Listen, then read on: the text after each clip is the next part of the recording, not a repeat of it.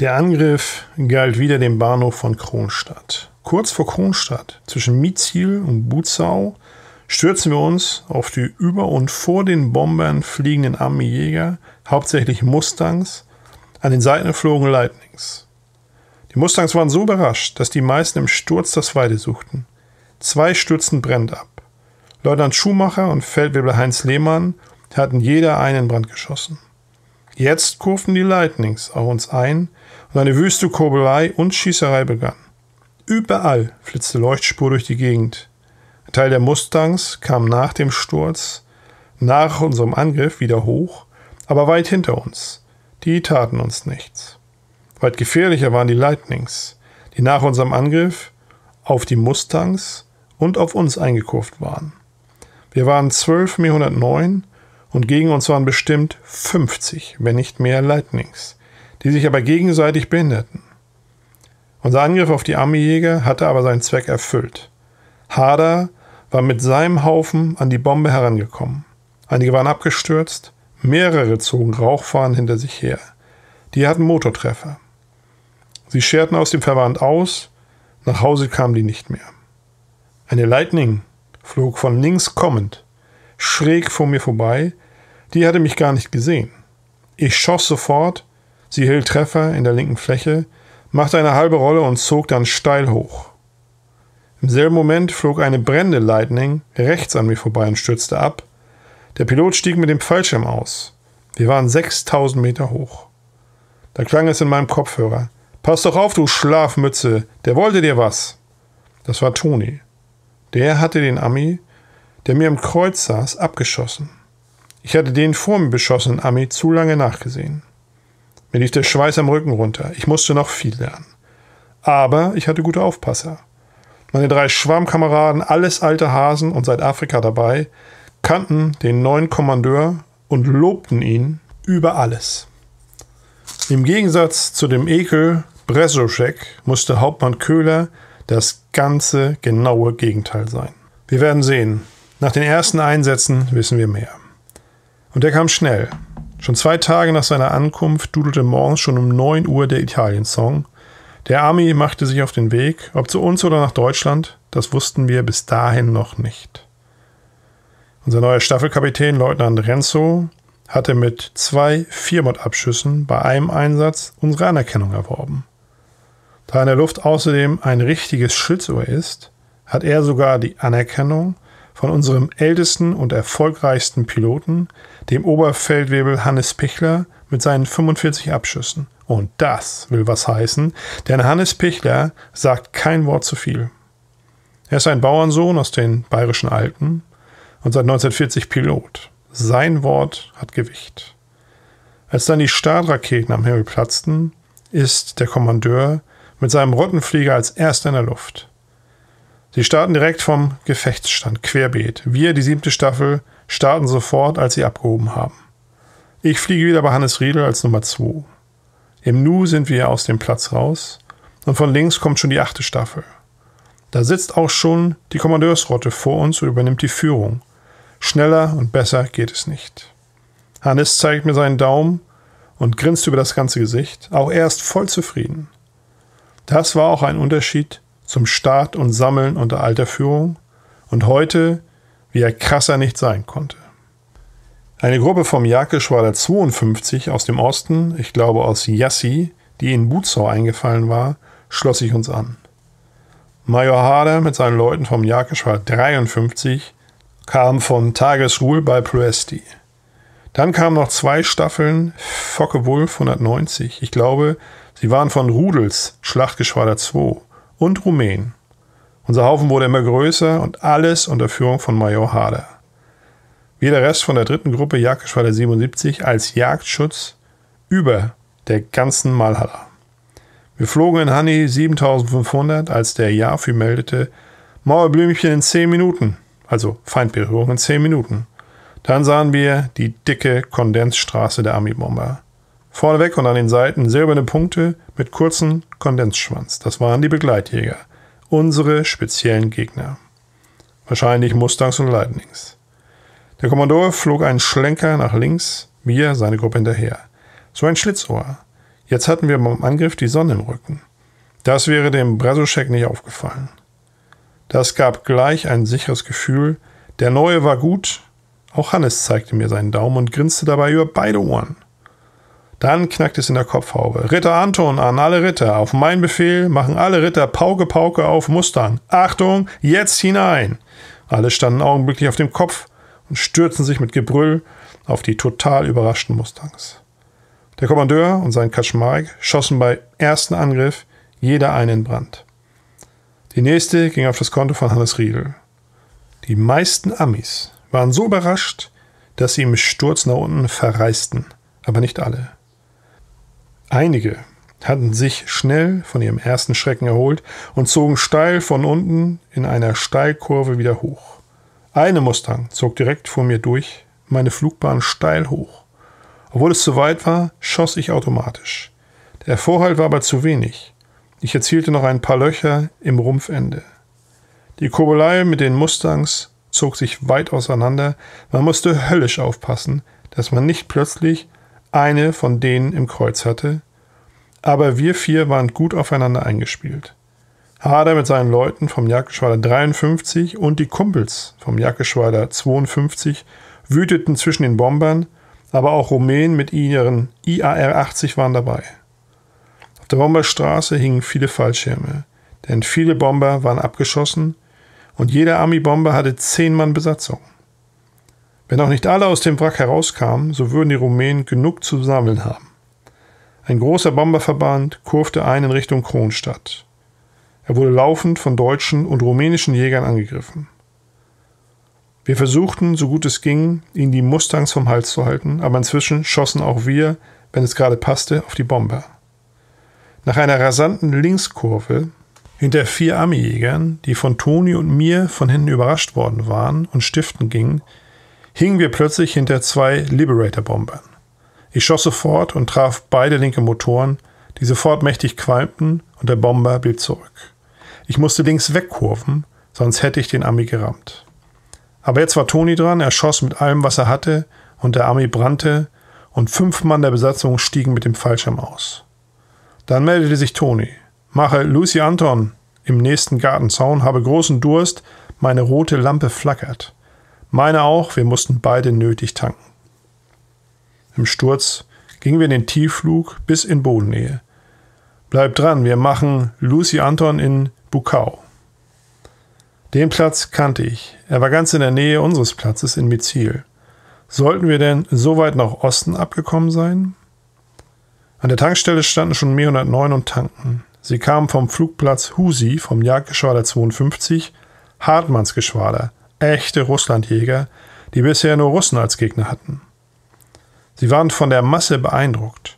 Ein Feldwebel fragte mich, Mann, war da viel amerikanisches Blech in der Luft. Ist das immer so? Dann, lebt bei euch noch einer? Sie waren solche Massen nicht gewohnt und konnten es nicht fassen, wie man mit solchen Massen klarkam. Als Toni dann sagte, mit der Zeit gewöhnt man sich an alles, schüttelte der Feldwebel den Kopf und sagte, ich bleibe lieber bei den Russen. Dann landete noch Leutnant Schumacher mit seinem Rottenflieger, einem neuen, der seinen ersten Einsatz geflogen war. Ich kannte ihn nicht. Nachdem sie getankt hatten, starteten wir gemeinsam nach Mizil, unserem Flugplatz. Bei der achten Staffel standen schon einige Me 109, einige Warte winkten uns ein. Peske, mein erster Wart, war auch dabei. Als die Maschine stand, Haube auf und erstmal kräftig durchatmen, drängte mein Wart zur Eile. Komm raus in den Splittergraben. Dabei zeigt er nach oben Richtung Kronstadt. Bomber sind im Anflug. Das fehlt uns noch. Man wurde von selbst ein Schritt schneller in Richtung Splittergraben. Und wer saß da schon drin? Unteroffizier Jansen, unser Motorenspezialist, ein anerkannter Fachmann, aber sonst nur große Klappe. Aber jetzt war auffallend ruhig. Eine Mäh landete genau in unsere Richtung. Im Ausrollen öffnete er schon die Haube der Kabine. Der hat es aber eilig. Kaum stand die Maschine, war auch schon draußen. Nach hinten oben zeigend rief er, wo ist ein Splittergraben? Bomber kommen! Wir winkten ihn zum Splittergraben. Er kam auch sofort. Mit einem Satz saß er im Graben mitten zwischen uns.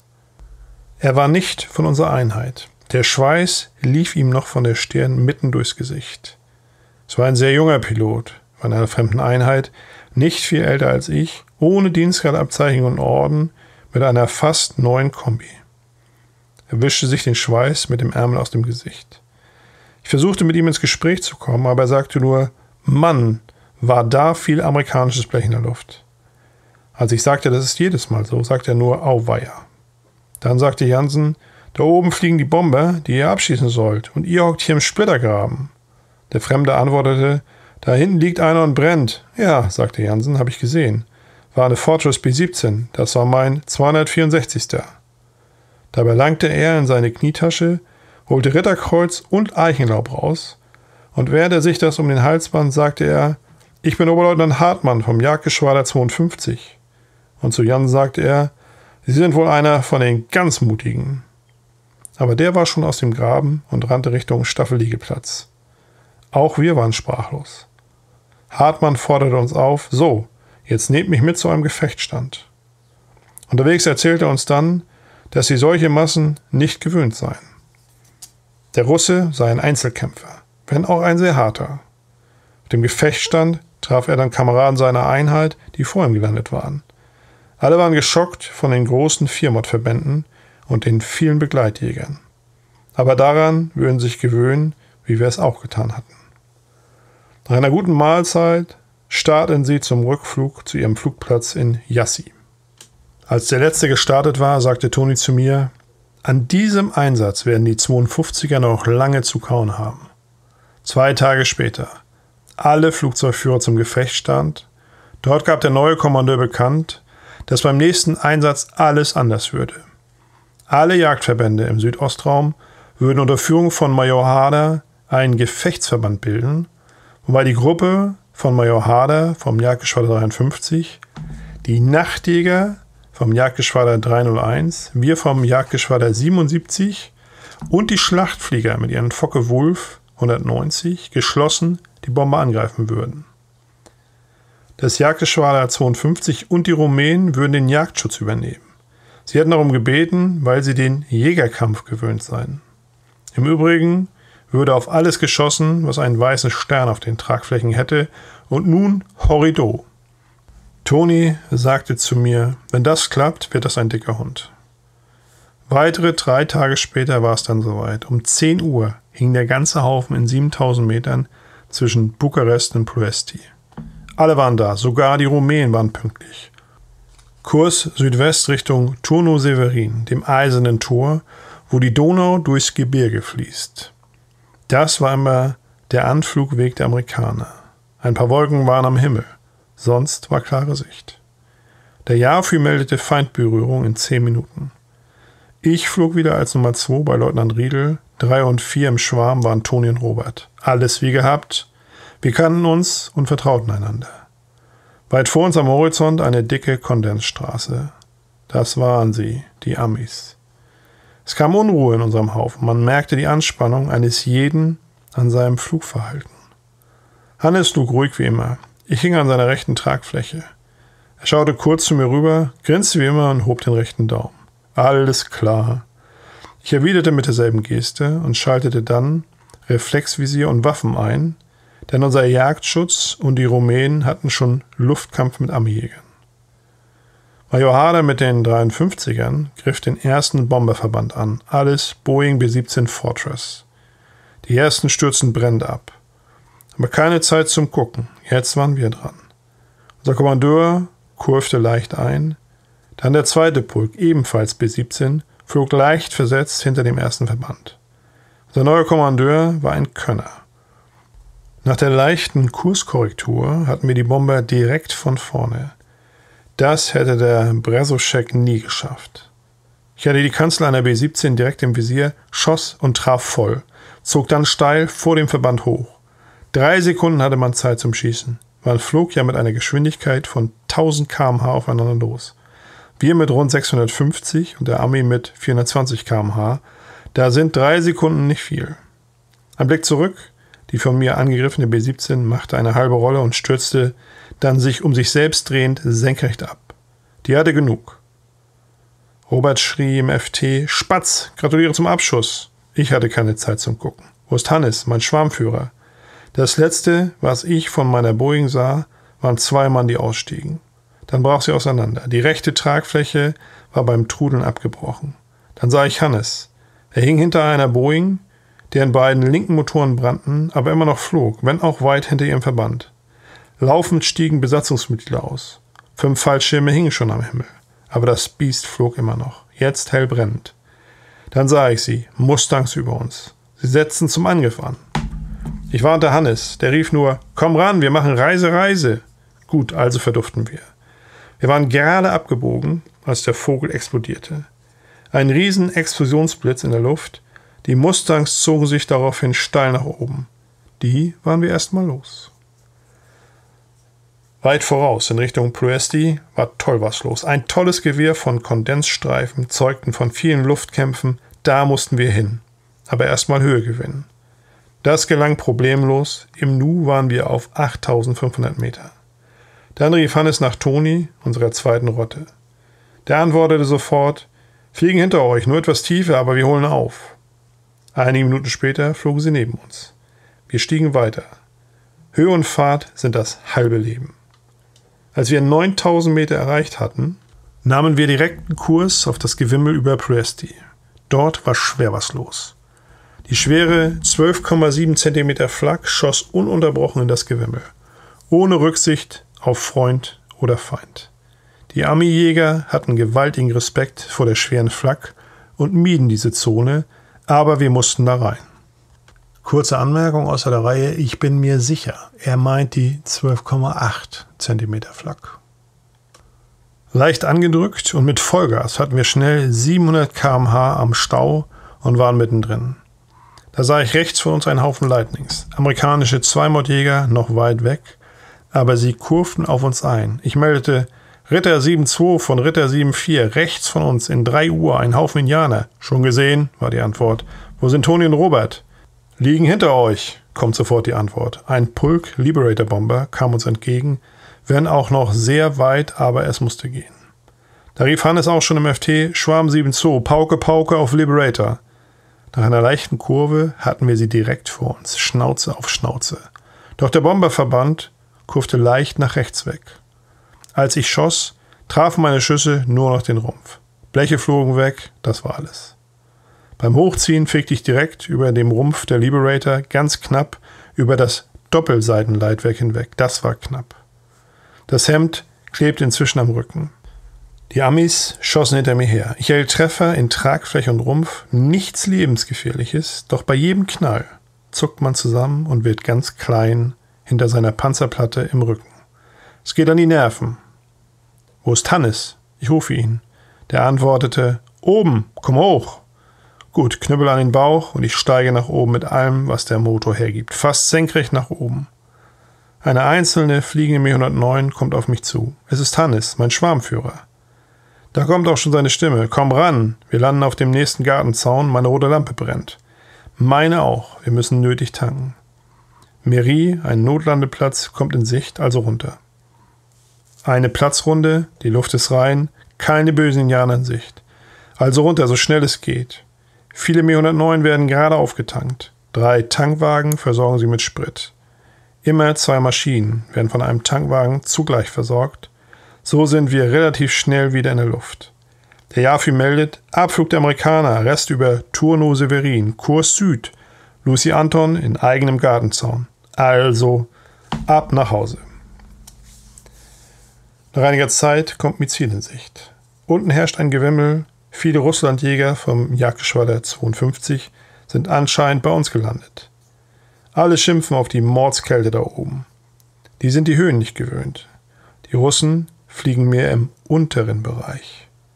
Beim nächsten Einsatz gegen die Amerikaner werden unsere Freunde vom Jagdgeschwader 52 sich sicher Wärme anziehen. 40 bis 60 Grad minus gehen ganz schön in die Knochen. Ich sah einen von denen, der in Halbschuhen geflogen war was der da oben wohl gebibbert hat. Der zieht das nächste Mal genau wie wir Pelzstiefel an. Heute haben sie noch gegrinst, als sie uns in Winterklamotten sahen. Das ist ihnen jetzt vergangen. Als ich meinen Boeing-Abschuss zu Protokoll gebe und Hannes und Toni ihn bestätigen, steht ein Unteroffizierspilot vom Jagdgeschwader 52 neben mir und sagt, ich habe auch einen. Mann, was können die viel vertragen. Hast du Zeugen? Dann lass dir den Abschuss hier bestätigen. Schon geschehen, sagte Günther Schmitz, Oberfeldwebel aus unserer Staffel. Ich habe den Abschuss gesehen und schon bestätigt. Abends, beim Abendbrot, waren wieder ein paar Stühle leer. Wieder hatte es junge Nachwuchspiloten erwischt, die ich kaum kannte. Bei den Mahlzeiten wurde grundsätzlich nicht darüber gesprochen. Das hatte der alte Chef Max Niese schon verboten. Er wollte in Ruhe essen. Als alle satt waren, bat der neue Chef um Gehör. Er verkündete, dass er in drei Tagen Geburtstag hätte und alle Piloten und Oberwerkmeister sowie Waffenmeister zu einer Sause ins Casino einlud. Laute Zustimmung allerseits. Damit hat er die Anerkennung aller gewonnen. Da er auch im Einsatz sein Mann stand, war uns ein vollgültiger Ersatz für den alten Chef Max Niese. Am anderen Morgen, schon ganz früh, ist eine Hektik im Bau, dass an Schlafen nicht mehr zu denken ist. Kurz darauf werden wir geweckt und zum sofortigen Frühstück gerufen. Dort erfahren wir, dass wir die siebte Staffel sofort nach Mairie, dem Außenplatz, verlegen. Nur das Nötigste ist mitzunehmen, die Verlegung sei nur von kurzer Dauer. Man hat Angst vor Tiefangriffen amerikanischer Jagdbomber auf unsere Jägerplätze und in Mairie kann man unsere Flugzeuge besser tarnen. Es gibt dort am Rande viele Büsche und Bäume. Woher die Parole kommt, weiß keiner, aber egal. Nach kurzem Flug landen wir in Meri. Die Techniker rollen unsere Maschinen unter und zwischen die Büsche, sodass wir jederzeit aus dem Stand starten können. Es passiert aber nichts. Wir haben Zeit, uns in den neuen Baracken einzurichten. Alles ist neu. Nur eine Klobaracke fehlt noch. Häufig müssen wir uns mit einem Donnerbalken begnügen. Dazu müssen wir durch ein Maisfeld, das hinter der Baracke liegt. Drei Mann können gleichzeitig nebeneinander darauf sitzen. Das war ein Gaudium, einen zweiten Balken als Rückenlehne gab es auch, darunter eine metertiefe Grube. Schnell hatte das Ganze einen Namen. Es war unser Bombenzielgerät. Abends dann die Geburtstagsfeier vom Chef. Es fehlte an nichts. Satt essen und trinken. Wo der Koch, unser von allen gelobter Unteroffizier Buzek, das alles her hatte, mochte der Teufel wissen. Auf Fragen danach grinste er nun und sagte, Geld regiert die Welt. Ich hielt mich an das gute Azuga-Bier. Ich konnte den elendigen Zuika-Schnaps, einen Maisschnaps übelster Sorte, nicht vertragen. Der stank so, dass er nur mit zugehaltener Nase getrunken wurde. Um Mitternacht musste ich zum Donnerbalken, Hannes Riedel auch. Wir beide voll bis oben hin, stapfen den Weg durch das Maisfeld. Unterwegs kam bei mir der Zuika wieder hoch. Ich kotzte mir die Seele aus dem Leib. Das gab Erleichterung. Endlich am Ziel hatte ich Mühe, den nun total fertigen Hannes auf den Balken zu bekommen. Als er endlich saß, schlief er gleich ein. Nach einer Weile versuchte ich ihn zu wecken. Ich wollte zurück. Er winkte ab und sagte, hau ab, ich bleib hier. Ich ging allein zurück. Dann kam mir der Gedanke, gleich geht die Sauferei weiter. Nee, ohne mich ging zehn Meter ins Maisfeld und legte mich auf den Barmboden schlafen. Sie sollten noch saufen, solange sie wollten. Ich schlief auch sofort ein. Nach einiger Zeit hörte ich, dass man mich rief. Ich meldete mich aber nicht, mir war Hundeelend. Und ich wollte einfach nicht mehr weiter saufen. Ich bin dann wieder eingeschlafen. Als ich dann wieder aufwachte, wurde es schon langsam hell. Alles schlief und ich schlich mich in mein Bett. Toni schnarchte wie ein Walross, trotzdem schlief ich ein. Wie lange, weiß ich nicht. Als ich dann aufwachte, stand die ganze Meute vor meinem Bett und schimpfte. Wir suchen den ganzen Flugplatz ab und der liegt hier und pennt. Dann erzählte man mir, dass Riedel gesagt hätte, der ist bestimmt in die Grube gefallen. Man hatte mit langen Stangen die Grube durchstochert, aber nichts gefunden. Mein Schlaf im Maisfeld verschwieg ich. Dann kam eine Stimme aus dem Hintergrund. Es war der neue Staffelkapitän. Da Oberfeldwebel Pichler der Einzige ist, der nüchtern ist, und der Spatz wieder nüchtern ist, haben beide bis Mittag Bereitschaftsdienst, alle anderen ab ins Bett. Das ist ein Befehl. Großes Hallo und weg waren sie. Als ich dann nach einer ausgiebigen Dusche ins Casino kam, war Pichler schon da. Er hatte sein Frühstück schon auf. Er glaubte mir nicht, dass ich die ganze Zeit im Bett gelegen hätte. Ich erzählte ihm dann die wahre Geschichte. Er grinste nur und sagte, gut so, ich hätte es genauso gemacht.